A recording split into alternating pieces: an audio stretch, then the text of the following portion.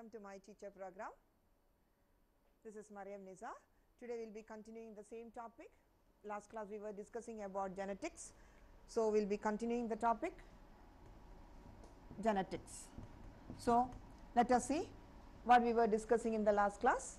We had discussed Mendelian theories, theory of dominance, theory of segregation and theory of independent assortment. And also we have studied about the incomplete dominance and codominance. Now, let us see some problems based on this because you can expect all these type of problems even your theory as well as for your medical entrance examination. Here the most important thing is if you have the concept basic idea about all these theories it is very easy for you to work out on these problems. Now, first see the problem number 1 In a pea plant, the gene for tallness is dominant over the gene for dwarfness. What will be the genotype and phenotype if a plant heterozygous for tall cross with a dwarf plant? So, this is the question. In a pea plant, the gene for tallness is dominant over the gene for dwarfness. Let us see this. For example, in this it is very clearly given. Here we can see that tallness is dominant and it is also mentioned it is heterozygous. So, what you can understand in this case both the alleles are of different types not of the same type. Now, let us see the the tall heterozygous crossed with a, a plant with a dwarf, dwarf character. So, dwarf we have only one possibility that is it can be only small t small t.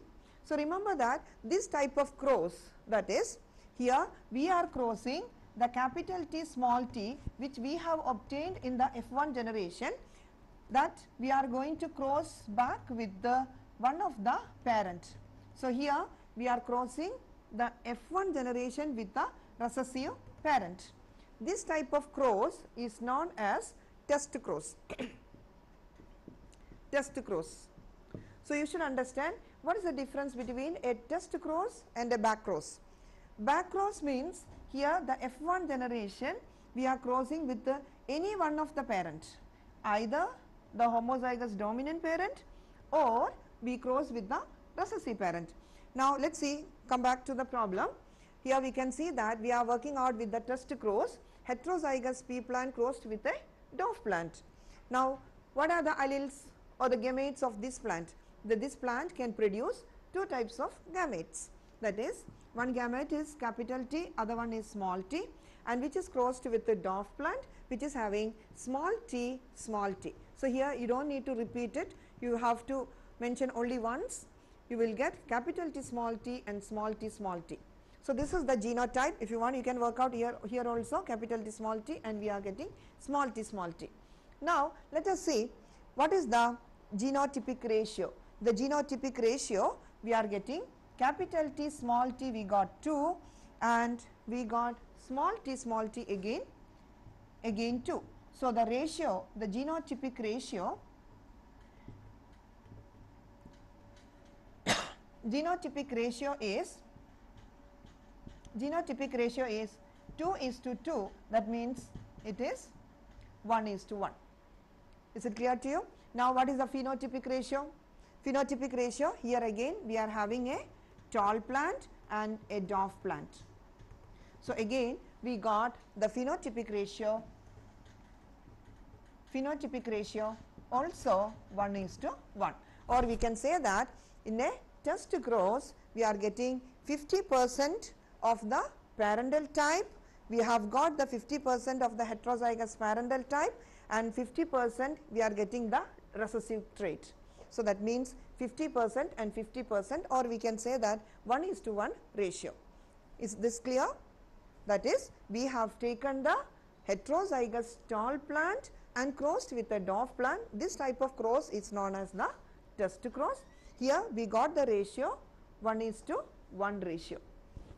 Hope this is clear to you. Now, let us see the test cross in case of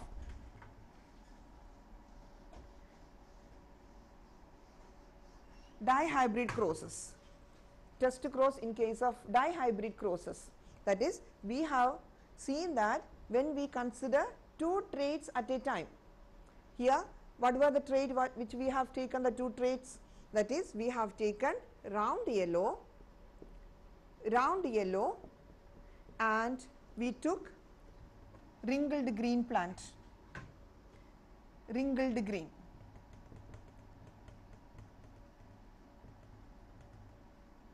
That is the dihybrid cross we have taken a round yellow is plant with a round yellow seed crossed with a wrinkled green.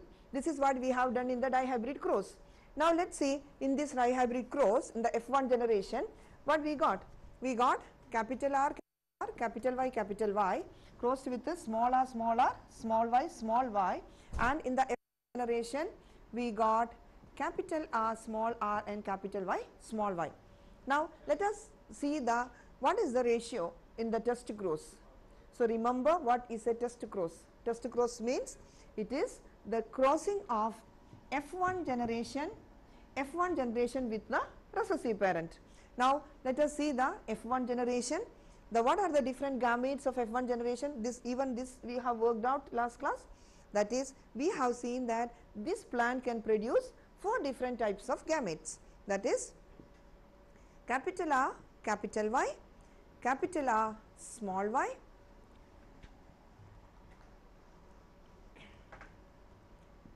capital R, capital Y, capital R, small y, small r, capital Y and small r, small y. These were the four different gametes which we have discussed earlier and now let us see the test cross. Here we are taking the wrinkled green plant. What are the gametes of this? Here this can produce only one type of gamete that is the small r, small y. Now when we work out this we are getting capital R small r capital Y small y, capital R small r small y small y, small r small r capital Y small y, small r small i, small y small y. Now let us see what is the phenotype of this. Phenotype you can say that this will be round, round yellow, then this one round green then this will be wrinkled wrinkled yellow and this one will be wrinkled green. So, here we got four different types of plants. What are these four different types of plants? Here we are getting two plants parental type and two plants as the recombinant types. So, here you have to understand that we are getting again the ratio we got 1 is to 1 is to 1 is to 1. So, here we are getting the ratio 1 is to 1 is to 1 is to 1 or we can say that it is equal to 25 percentage. 25 percentage of different plants we got or we can say that 50 percent are of the parental type and 50 percent are of the recombinants. So, hope this is clear to you. This is the this ratio is known as the dihybrid test cross ratio. So, previously we have done the monohybrid test cross ratio that is 1 is to 1 and in the case of dihybrid test cross ratio it is 1 is to 1 is to 1 is to 1. Hope this is clear to you. Now, what we are going to do is we will move on to the next problem and we will see. Now you might have studied about the linked genes. Have you studied about linked genes? Linked genes. What do you mean by linked genes? When you can say that genes are linked, what does it mean? Here it means that two genes are on the same chromosome. When two genes are on the same chromosome, we can say that these genes are linked genes. That is according to the theory of chromosomes, Sutton and Boveri proposed that the theory of chromosomes that states that genes are located on chromosomes. And if you consider more than one gene and these two genes are on the same chromosome, we can call it as the linked genes. Now, let us see the linked genes, how the genes are located on the chromosomes.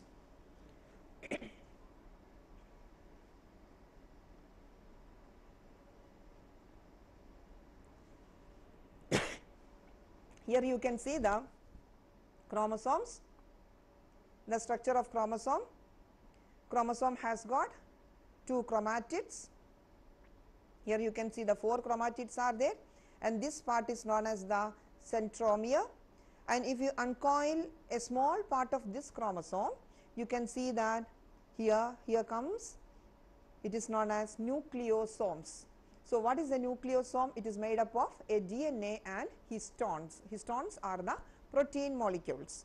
So, we can see that the nucleosomes are made up of histones and DNA and now again if you uncoil it you will see that the structure of a DNA molecule.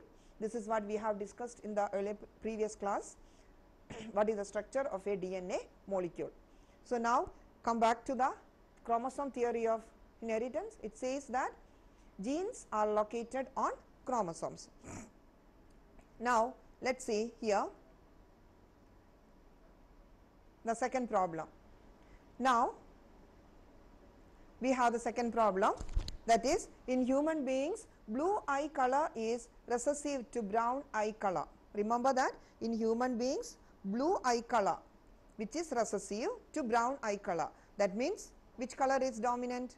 Here brown eye color is dominant. A blue eyed man has married a homozygous brown eyed woman. Homozygous brown eyed. Predict the percentage of having blue eyed children in their family. So, now let us see the problem. Here we have to see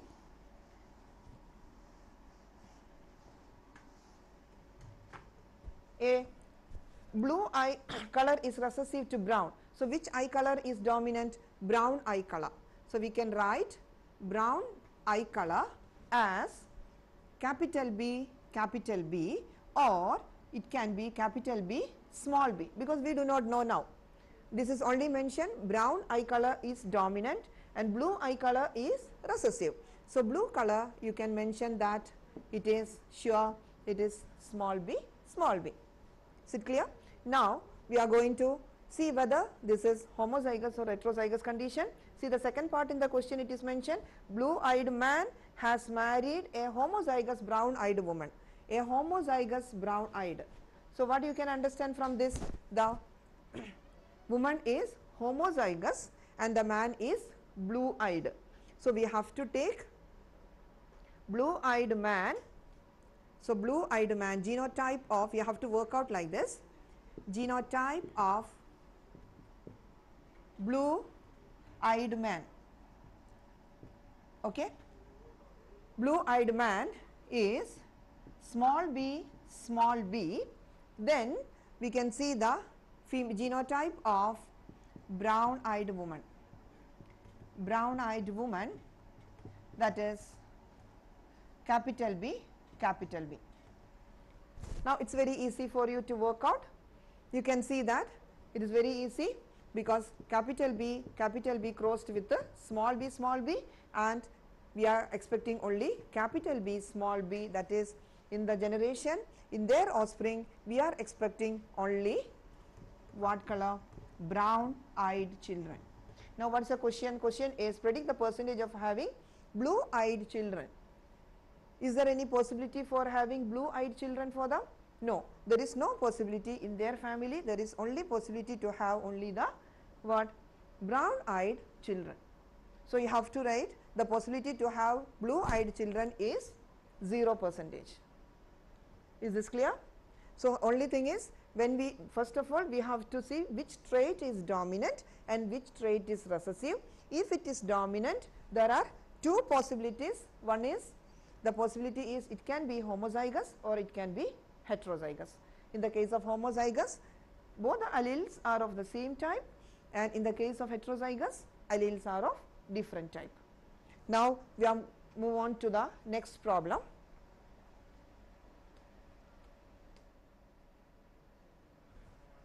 This is related to blood group. A man with blood group AB and his wife with blood group O. A man with blood group AB and his wife with blood group O claim a child with blood group AB as their son. That means, here we have seen the child is having AB blood group. You may think that this blood group, this is father's blood group, the child has got, we may say that. But let us see in genetics, is there any possibility to have AB child or the AB blood group in among their children? Is it clear to you? Here, now let us see the problem. Here we can see that a man with blood group AB. So, what is the father's blood group? Father's blood group is AB. AB is represented by two alleles that is we have discussed the codominance and we have seen that AB is discussed we can consider AB IA IB. This is the genotype of AB blood group. Now, the female's blood group, mother's blood group. Mother, mother is having O blood group. So, O, mother's blood group is O. So, we can say the genotype is small i and small i. Now, we have seen capital IA, capital IB crossed with a small i, small i and they have got a child. They, they claim that the child with the O blood group so, child's blood group, child's blood group is again O, sorry, uh, child with the blood group AB, child with the blood group AB, child with the blood group AB. Now, we can see that the possibilities of blood groups in their family. Now, let us make the Punnett square IA I as one gamete and IB as another gamete crossed with the we are crossing small i. Now, what we are getting? We are getting I A small i and IB small i. The phenotype or the blood group here I A small i is A blood group and here I B small i is having B blood group. So, in this family for this couple what is the only the possibility? The possibility to have only either the child should have A blood group or the child should have the B blood group. Suppose they say that the child child with the AB blood group is their son then it is wrong. Even though we may think that the child has got father's blood group but genetically theoretically we can prove that if this is wrong the child does not belong to this family. This family has got only possibility to have either A or B. Is this clear? Now, we will move on to the next problem. Next problem. So, so far we have discussed about the test cross and we have discussed about the codominance. Now, let us see the third phenomenon that is the incomplete dominance. The, this problem we can see that a black colored cock, the clock is cock is having black color when bred with a white colored hen produce steel blue colored offsprings called Andalusian chicken.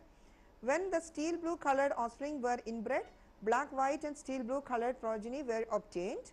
What will be the expected ratio of the black, steel blue and white progeny? Here when the steel blue colored offsprings were inbred. What do you mean by inbred? Inbred means it is the selfing. Now let us see a black color cock with a white color hen.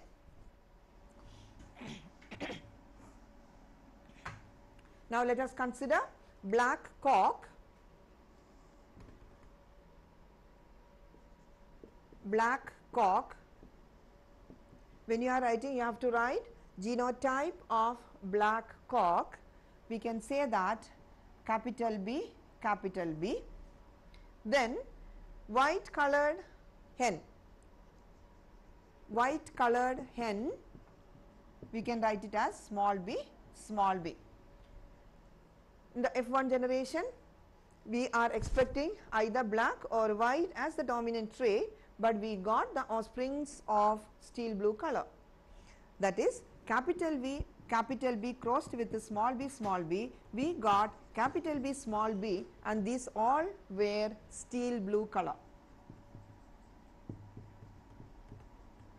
steel blue color. So, what you can understand from this? From this you can understand that here the theory of incomplete dominance applies. You may think that how can we write black cock as capital B capital B? Why can't we write it as capital B small b? We cannot write capital B small b because here in the F1 generation we got steel blue color which is not any one of the parents are having this trait. So, from that you, sh you should think and you should understand that this is related to incomplete dominance. Now, let us see the what is the second statement when the steel blue colored offspring were inbred. So, here these steel blue were inbred let us see what we are getting capital B small b crossed with the capital B small b. Now, in this case we will get capital B capital B capital B small b again capital B small b and we will get small b small b. That means, we are getting black, steel blue and white. So, we are getting all these traits in the F2 generation when the steel blue color is inbred. Is this clear? Black cock with white hen we have got steel blue color and this case we have seen that this is incomplete dominance and so in the F2 generation that is the inbreeding of steel blue we got all these traits that is black, white as well as we got the steel blue offsprings. This is clear to you. Now, we will move on to the next one.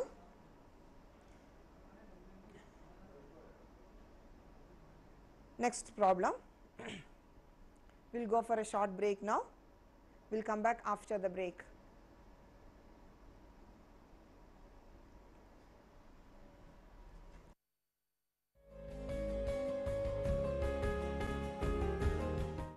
DSF